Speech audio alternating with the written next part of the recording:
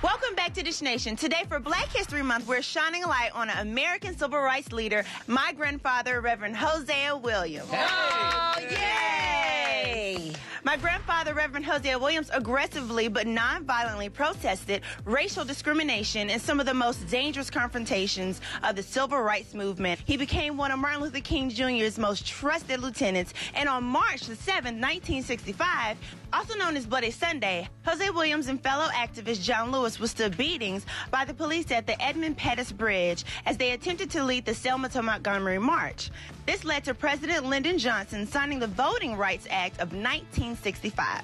That's, major. awesome. He was known as Martin Luther King's bull in a china cabinet because he was the one who would rile everyone up together and get them excited about the mission and the purpose and all that. So he would pump them up.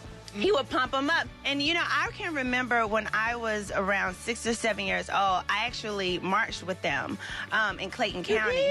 I remember them throwing rocks at us and calling us. That is just, I don't know what I just want to call- that is so touching. Mm-hmm. Yeah.